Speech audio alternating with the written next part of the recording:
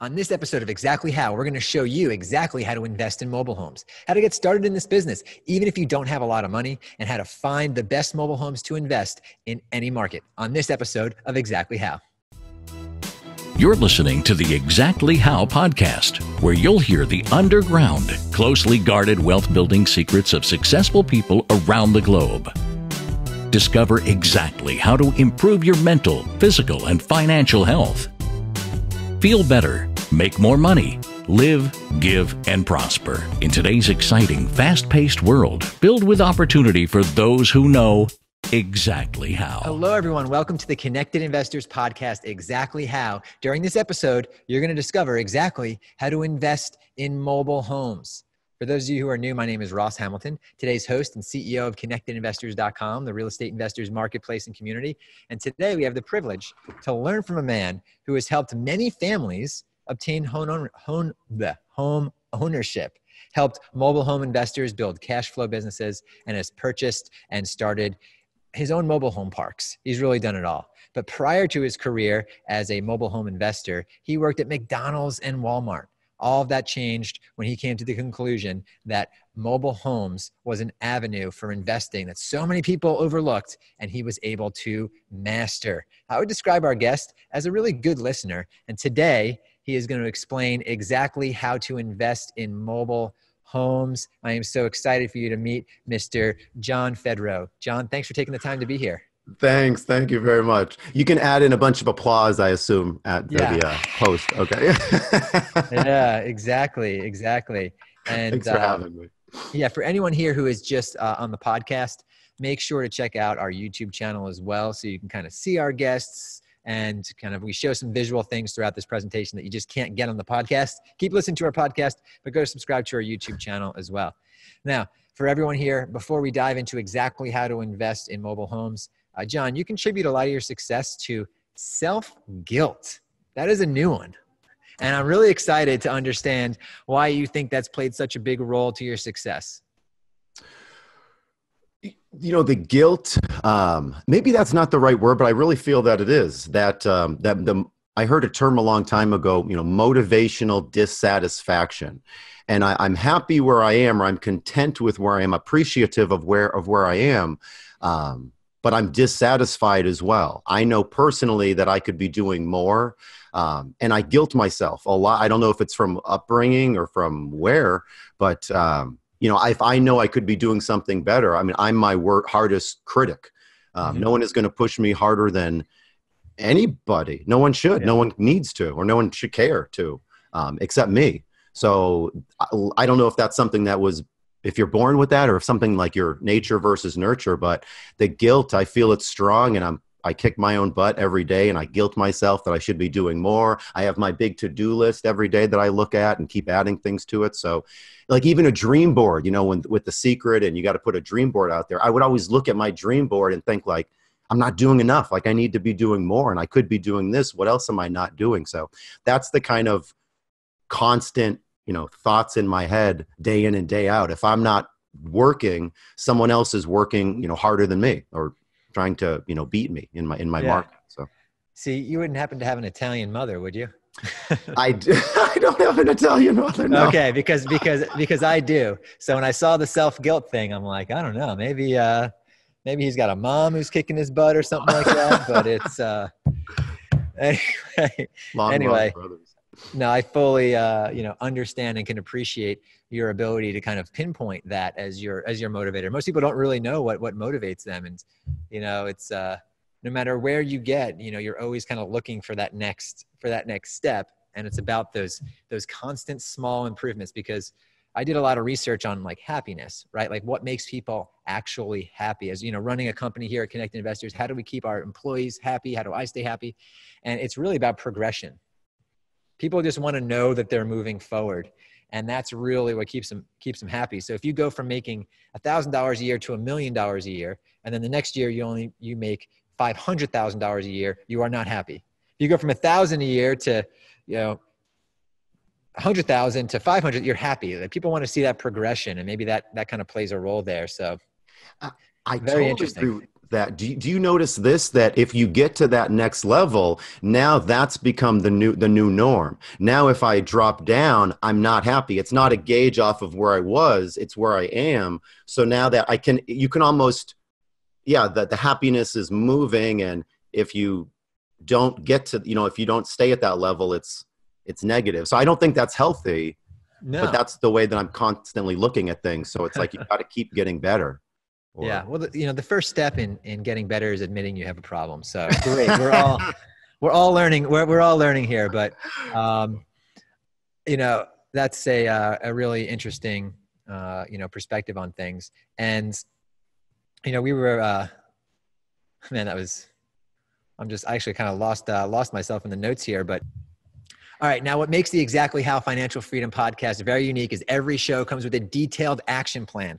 We'll go ahead and pull actionable steps out of our guest, John, here, and you can go right to exactlyhow.com and access this blueprint on how you too can follow these steps and keep pushing yourself and keep moving. So you can go to exactlyhow.com to get the notes, the takeaways, any resources that we mentioned on this call. And John even has a free gift he's going to give everyone on the line. So all you have to do is visit exactlyhow.com. In addition, you'll be entered into a drawing to win access to our pre MLS software. This is where anyone can find the most motivated properties uh, the most motivated sellers out there uh, from trailer parks, which we're going to be talking about, to apartment complexes, to your average home in a nice neighborhood. This is how you can find properties for steep discounts. If you're watching this live, visit exactlyhow.com, throw your name into the hat. We're going to go ahead and pick a winner here really soon. So, let's go ahead and just jump right into it um, because we have a really exciting show here. A lot of people are talking about mobile home investing. I've actually seen a lot of big funds, like the big hedge funds out there, moving into mobile homes as well. So this is something that uh, that I've actually personally done myself. So I'm excited uh, to be able to to have an expert kind of share this uh, with you because I kind of stumbled into it by accident. Um, can you just kind of define what you mean when you're talking about a mobile home, a trailer, a double wide, like a uh, you know, non-permanent foundation? I mean, w- what do you mean when we're as we're talking through this topic? Sure. There's the topic was so broad. When I first got into mobile homes, I certainly didn't know that um, there were mobile homes in parks. Most of us think about a mobile home, which is the re- the rectangle, uh, sitting with the wheels, you know, on somebody else's land in a park with a bunch of other people that own mobile homes, paying lot rent to the landowner. And that's one way of doing business. There's also mobile homes that we can move from one location to another. There's mobile homes that are attached to their own little pieces of land that the people own as well. In fact, 75% of mobile homes in the country, around 70 to 75%, they're actually on their own little pieces of private land that the owners own as well. They're actually not inside of parks. Or you can own the entire park. Um, you know, own the own the land, own a bunch of homes, or have people pay you rent for they they own the home. So, but what I'm talking about is the main the individual rectangle. That's how I got started on the piece of land that somebody else owns. So you're really just buying and selling that that personal property. Gotcha, gotcha. You know, and there's a there's a mobile home park not too far from from uh, our office here, and it's called Wheel Estates, and I just love the name. It's it's really called that. Yeah, it's called Wheel Estates. A pun. Oh, that's yeah, awesome. exactly. And it's, it's it's in a great location. I'm sure whoever owns all that property will uh, will have a big payday. Yeah. Um, so, uh, what we'll be talking about here is actually we're we're not going to dive into the owning the actual property. We're just talking about the actual uh, trailer itself or is it or or are we going to talk about a mixture of, of both of those? There's, there's so many ways to go here. So many ways to go. In my opinion if the people you know listening are going to get started if you only have a few grand or more than a few grand i think there's like two thoughts. It's like either the mobile homes or the mobile home parks. So mm-hmm. I've just got it started in the mobile home parks a couple years ago, but I've been doing the individual mobile homes on in in parks that you have to move and on private land i think in my opinion those are all kind of one and then you get the, the parks that are something else. But if you're going to do the one you know if you're going to do the, the homes on land the homes in parks and the homes that have to be moved those are all kind of clumped in one group. So you can do the stuff i'm going to be talking about is like that that group. So if okay, you're going to do one i say you do all of it you know perfect perfect all right well before the show we talked about the uh, the steps to actually doing this we broke it down to first knowing what people are paying then knowing who's out there, and then three, making a massive amount of offers. So I'm excited to kind of work through these. Let's jump right into step one knowing what people are paying. What does that mean to you? Sure.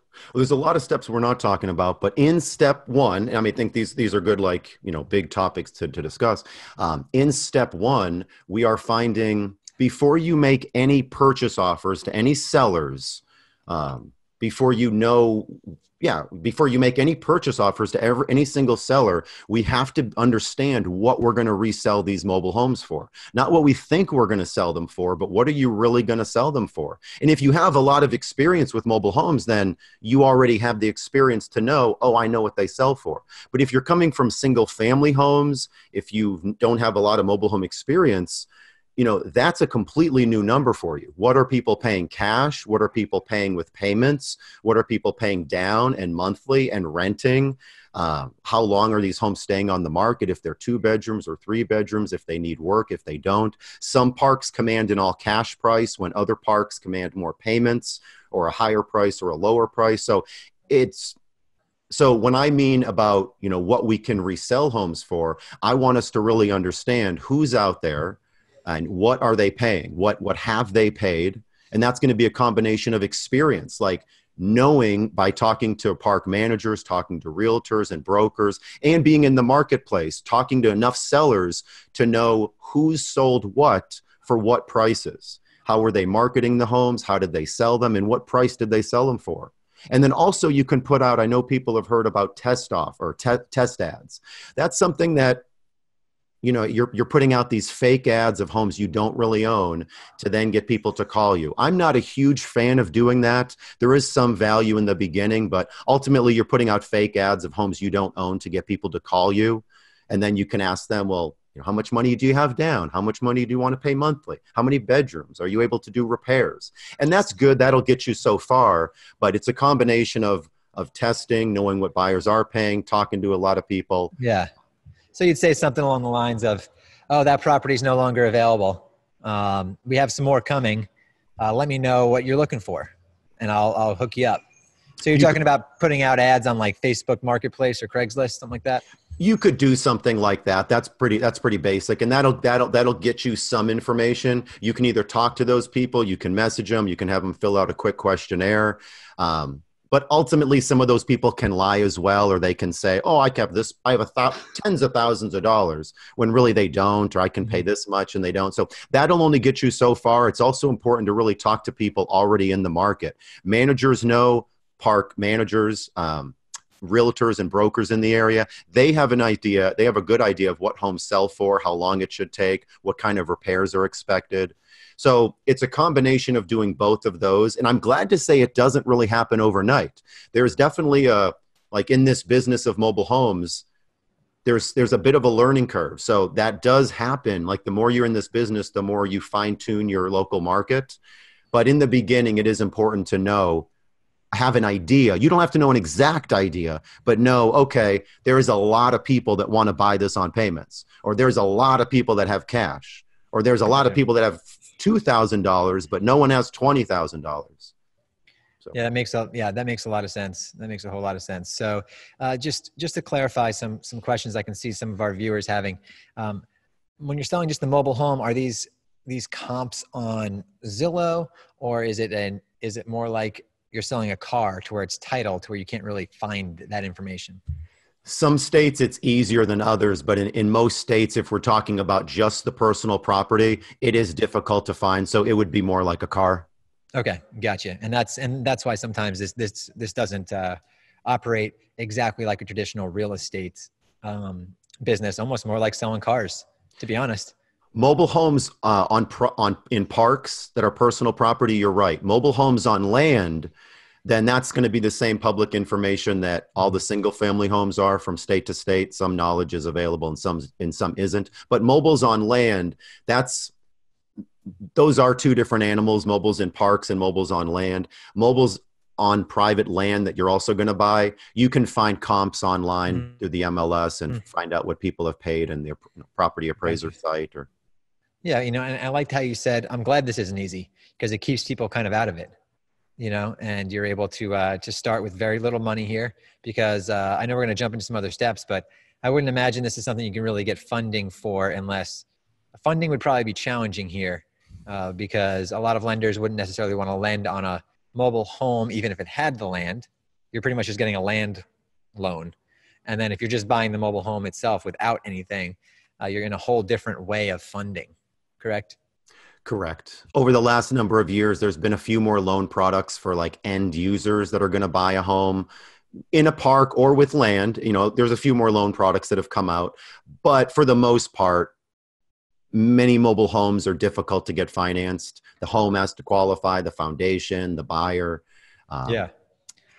maybe private money, like once people do a couple deals and then they're they're vocal about it, yeah. you know, there there is private money out there. People yeah, just normal people or people at the exactly. real estate clubs. Like, oh, I see someone doing money. something good. You know, I want some of that. I hear you know. Yeah, exactly. And this is this is also a good time for you to get uh, to use business lines of credit, credit cards. You know, like your more traditional. Uh, you know, how to just pull money together for any business. So interesting. It's uh, yeah. I remember back in the day when I was doing a lot of uh, a lot of mobile homes. It was all about that permanent foundation. That was a big expense for us because we'd put a permanent foundation on it, then it would qualify uh, we did a lot of rent to owns. People would rent it with the option to buy. The money they put down, we'd put a permanent foundation underneath it, and we'd work on getting them getting them qualified. So I've I've played that game, uh, you know, a little bit, and it was it was very profitable for a long time. Beautiful. So step step two was knowing who's out there. What does who's out there mean to you? Knowing who's out there is is the sellers. So that's that's that's the who gotcha. in this in this case. Um, knowing who's out there is definitely the sellers. We're dealing with um, oftentimes we're not dealing with millionaires. The people that we help sometimes they're in fragile uh, delicate vulnerable situations. We're helping people that are um, a lot of the folks we help are paycheck to paycheck which actually around the country most people are paycheck to paycheck. Yeah. so when we're helping folks you know some people need to leave real soon. Some people have plenty of time. And for the for the listeners i want them to understand i think it's a big fallacy or it's a big uh, mistake that you know people they go they come from single family home investing. They see a mobile home that's worth 20 grand or 10 grand or 30 grand. They talk them down a little bit of money and then it's like this must be a good deal. Like this is i can get this whole home for just you know 30 grand or 20 grand or 5 and that might not be the case. In my opinion the person listening to my voice should get clarity on the entire marketplace, not just the stuff on Craigslist or Facebook. Really understand, shake the tree, and understand who's out there, what are they selling, and why. And then, you know, what are they selling and why? You're not just guessing, you're actually listening to them. And then making strategic offers to everyone, everyone that fits your criteria. You know, let's make strategic offers to those folks. And you don't need to buy five or 10 homes at once you want to buy one with the path of least resistance. And people have different time, they have different money, they have different capital and goals. So, you know, what my path of least resistance might not be somebody else's path of least resistance. So, it's important to get clarity on who's out there and then again move forward one at a time with the path of least resistance. So, when I say get yeah. clarity, I mean the the sellers. Gotcha. Gotcha. Yeah, in our uh in our our pins our software that we're going to be giving away to one of the listeners here shortly we have the ability to search for for mobile homes. I haven't dug into it too deep. I might i might give you uh, access to the software and have you dig into it to make sure it it works it works for you. I haven't personally used it for that but um, outside of our software where are some places that you've been able to find mobile homes? I've seen mobile home parks on loopnet. I've seen uh, you know where, where are you finding these deals the deals or the or the parks or the uh, just yeah anything that you're buying like how are you finding these these sellers whether it's the parks or the individual uh you know trailers? Of course. So in my opinion you know there's only so many parks around anyone's one given area. Um, and so in my opinion i want folks to sort of dominate their local area. Now you're not going to over the next year or two, you know, if you're buying mobile homes in parks, um, you're probably only going to be investing in a couple parks. Like even if you buy 10 or 12 homes, you can have a really decent business in just a small handful of parks. But I'm not going to say that those parks are all like two miles from your home. You're going to be driving, you know, 50 miles this way, 20 miles that way, 10 miles over here. So to go back to your question about where are we finding these deals, part of this business is being at the right place at the right time part of it's being having a good reputation and part of it's uh, you know acting quickly of course. But from the very beginning you know all of the mobile home parks around you all of the mobile home neighborhoods ar- around you there's no way for me to hide the fact that i would like people to go to every single mobile home park around them to understand what's out there who's selling what to talk to people to put out some advertising. And that's just food and that's just feet on the ground.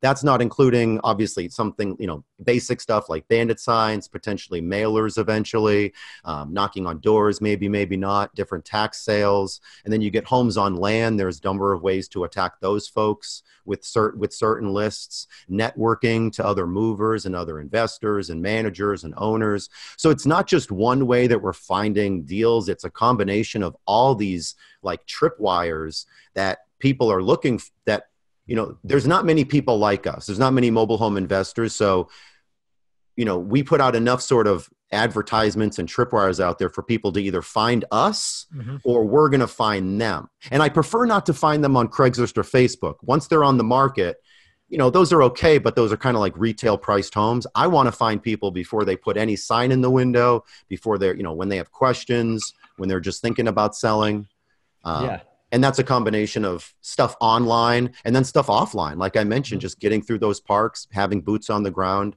doing a number of things while you're there.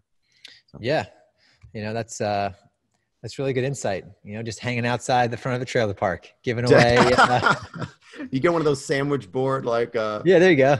Where you flip. The- oh man, well, you said you used to work at uh, McDonald's or Walmart before you did all this. You can just be handing out McDonald's coupons, talking to everyone. You ever need to sell? Yeah, I'm I'm your man. Um, so step three is what I'm most excited about hearing: um, making a massive amount of offers. So you know what people are paying. You know who's out there selling. You're trying to get to them ahead of time, uh, just like you are in any real estate uh, deal. And now you're making a massive amount of offers. How do you, uh, you know, scale that? What What does that mean to you? In the beginning, I mean, people's definition of success, I think, is all different. You know, some folks want to understand things. Some folks want to do one to two deals a month. Others have some monetary goal. Um, people start with so much money. You know, some people have 20 grand, a 10,000 or $100,000 or more. And so it, you know, for the massive amount of, of, of offers, I say that because be, having been in this business for so long, this is a conveyor belt type of business where there's always going to be more sellers out there. Next month, there's different sellers. The month after that, the month after that, the month after that. So there's always more, you know, the conveyor belt of people needing to leave for a variety of reasons. And I run a business. I when I talk to sellers, I want to give them offers. It might not save their day, it might not be the best thing out there, but I want to tell most sellers how this company that I work with can help them. So I need to take into account what they want. I need to take into account what I have, my exit strategy. But I think everyone that I talk to, everyone that I go and especially have an appointment with, they deserve answers. They deserve an offer. I'm not pretending to come in on my, you know, horse with, you know, can save the day for everybody, but I want to help you know one person at a time so i want to make a massive amount of offers um, i want to be frugal just because I have the money doesn't mean I want to spend it. So I'm usually making them a combination of offers a cash one, a payment one, maybe balloon, maybe a combination of payments and balloon. So that's what I mean by a massive amount of offers. And not only make the massive amount of offers, and then it's not like, okay, take it or leave it, goodbye understand what you just said you know understand how the seller is taking your your offers how understand how close you are if you're close try to get to a deal. And if you're not, you know, follow up and keep in touch. Learn what they sold for, learn if they get more motivated, renegotiate later down the road, and then progressively one deal after another. This is not a get rich quick business, but one, you know, deal after another, you know, in a couple months, in a couple years, you have 20 homes in your portfolio, you know, 15 homes, 10 homes, 30 homes. What so, you, yeah. And what do you, what are you seeing at the light at the end of the tunnel? You have these 20 or 30 homes what does that kind of passively spit out to you each month not including down payments every payment every time you sell a mobile home with with some type yeah. of rent to own, owner financing, you're going to get a down payment. And the down payment's dependent on the condition of the home. If you're selling like a handyman special, maybe you get a couple grand down or less if it needs more work.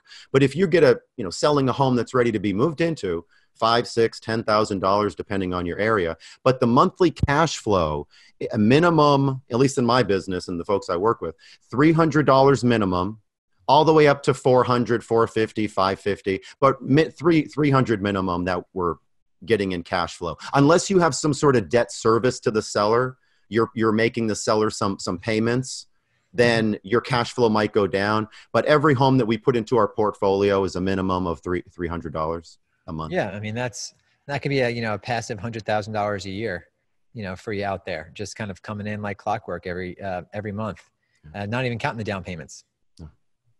So, um, yeah, just, I'm sorry, I kind of sidetracked you there, but as far as making these making these offers, um, you're just kind of making everyone some sort of an offer. Um, is there any sort of automation you use there? Is it kind of case by case?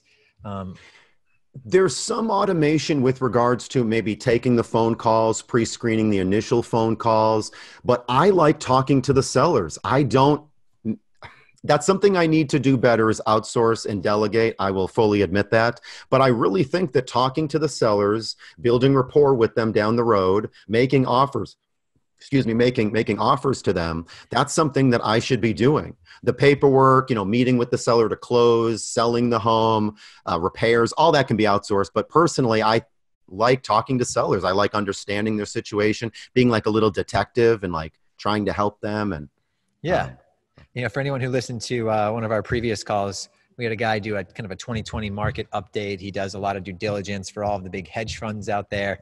And he was like, you make your money when you buy, you know, so it makes sense that you want to be there. And it's like the last thing you would want to outsource because you know, if you're doing it, um, you get to, you get to play detective there a little bit and, you know, find those extra uh, dollars really. Right. Well, great. Is there, is, uh, there anything else here you want to let people know about mobile home investing? Oh my gosh. Um, I mean, we could talk about this for hours and hours and hours. Um, it's not a get rich big quick business overnight. We're helping people. It's definitely a people business by far. You're listening to people. You're being a, you know, pseudo therapist sometimes.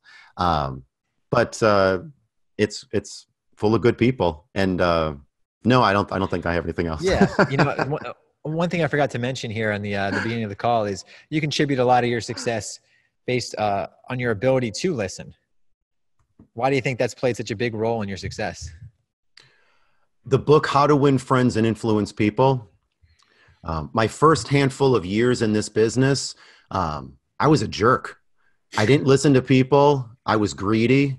Um, I did a lot of things I shouldn't have done and and i wasn't happy either i had anxiety i wasn't happy with myself um, and i changed i changed how i see people and i realized that investors most people in this world they don't need our help i mean some people do some people want it some people don't some people think they do they don't so it's our job to listen to people and understand like oh you really don't need the help of an investor i love your home and here's what i can do to help you and call me if anything changes pass around my name and number but it just I guess it was a product of this business. Like this business, in I think real estate in general is like a crash course in in human psychology and human relationships. And so, um, yeah. anyway, the the whole listening thing came about from reading and self self improvement. Yeah, you know, it really is. When I was 19 years old and I decided I wanted to become a, a real estate millionaire, right? I'd go out there and I, I would do anything. I would knock on doors. I would, uh, you know, I'd go down to the courthouse, I'd get the list of people in financial trouble. I'd go knock on doors. And I was a 19, 20 year old kid sitting down with a 45 year old, you know, father of three who lost his job, trying to pretend like I could possibly understand what they were doing. Uh, but it was a crash course in, in life and in therapy and in just kind of listening and understanding, uh, you know, the many realities that happen, uh, you know, to good, hardworking people who just they never get a they never get uh, something else going on right they have their job they're worried about their job security they never build anything passive they never build any real wealth in uh, you know in real estate and then when you know when it hits the fan uh, there's there's nothing to fall back on. So that's why so many of our, our members are here because they're like, man, I need to I need to control my own future. And as the investor, we can really, you know, if you've been doing this for a while, which I know, you know, both of us have, but we can really we can set people up for success. We can set them up for failure. We can be manipulative. We can you know it's i think it's our job to kind of even though that person didn't set up any passive income you know and they got themselves into whatever bed that they're in or you know every situation we should still try to be helping people to some extent for a long you know for our long-term business to make things semi win-win um anyway it's just yeah this yeah. we, we are in a unique fortunate position in you know us starting so young as well to help people like double triple our age it's crazy sometimes or it was more back yeah. then well this is a this is a fun question i like to ask everyone what do you think your life would be like if uh, you kept working at walmart or mcdonald's and never got into real estate that's such a you know uh, i i could assume things I, I know that i wouldn't be I was itching for something else. I mean, even, you know, just the Walmart days, the McDonald days, I knew I had so much fire in me, so much potential. I knew that there was more. Um, would I be working at a job and then probably not happy? Yes. Maybe would I be doing something on my own? Maybe. Am I really an entrepreneur or a business owner or what am I? I, I have no idea. Um, I'm so glad that I did stumble into mobile homes and I failed into mobile homes basically. Um, but my I can't really I don't even want to think of that. I don't even know that. I just that's yeah, I don't even want to think about that. That's, well, there's uh, some other version of you somewhere else saying, "Would you like fries with that? Would you like fries with that?" Oh man. Well, I mean, I really, uh, yeah, I really appreciate you kind of breaking breaking this down at a high level here. And uh, do you have a little bit of time for a rapid fire section? Oh, that's fun. That sounds yeah. fun. All right. So, on a scale from one to ten, how strict were your parents? I had a good mix. So I know this rapid fire. I had like a good the balance. Well, not balance, but like one was way one was one one was a two and one was a nine. So maybe a five in the middle. Perfect. Uh, get up early or stay up late. I've been getting up earlier, but I do stay up real late. Yeah, a lot, a lot of people that are entrepreneurs just say both. Um, how many hours of sleep do you get? Ooh, on the weekends I try to make up for it, but Monday through Friday, six to seven. Um, what is your favorite or most recent book that you read? Ooh, I know I said it before, um, and I'll say it again because I just re-downloaded it to Audible and listened to it. Uh, How to Win Friends and Influence People. Yeah, yeah, that's a, definitely one worth reading a few times. If you could be any superhero, um, who would it be? Ooh, is there like an invisibility person? I'd be that person. Okay, perfect. Sounds kind of creepy though. Like, yeah, what are you doing? What are you going to be doing? It would be it would be fun though. Um, something everyone should do less of. Ooh, TV time. Something everyone should do more of. Hugs. Will people visit Mars in your lifetime? Oh man, I hope so. If I can, I'd love to go out there. Bitcoin, bang or bust? Wow, you're asking the wrong person. I hope it's a bang for the little, the few bitcoins that I have. there you go. Well, hey, thank you so very much for jumping on the line with us. Of course. Thank you so much. Yeah. And for everyone who's here, you made it to the end of the show. Most people don't finish what they start, but you are special. You found a lot of value in the information my guest and I have been sharing with you. And all we ask in return for all of our hard hours of work is for you to give us a thumbs up, like, comment, share this with someone, interact with us in some way. Uh, your interaction is really what drives us. Any ideas you have for shows, put them in the comments. Make sure to visit our YouTube channel and subscribe so you can have this this high uh, high value information just coming right to your cell phone the second it's available because maybe um, mobile home investing isn't necessarily for you. Maybe you jumped on our last podcast where we showed you how to build skyscrapers. I mean that's kind of the difference in what we show. We take you through every single uh, type of real estate investing your wealth your health your happiness. That's what exactly how is about. So please go ahead and subscribe comment leave a feedback write a review. I'll see you on the next episode of exactly how the Connected Investors app connects you with investors, notifies you of available properties, helps locate cash buyers, and secure private funding to close deals. Set up in seconds to become a member of the Connected Investors social network. Now you can scroll through your main feed to find cash buyers, see investment properties not available to the general public, and network with investors by adding your own comments to a thread to keep the conversation going. The Control Center is your connection to add properties to sell, start new discussions, connect with local investors, and even find private funding. The Notifications tab will keep you alerted to new investment properties and offers. You'll also find new friend requests to connect directly with the community to build your network. From the property marketplace, you'll be able to find, favorite, and make offers on investment properties. Download Connected Investors today to find, figure, fund, and flip investment properties on the go.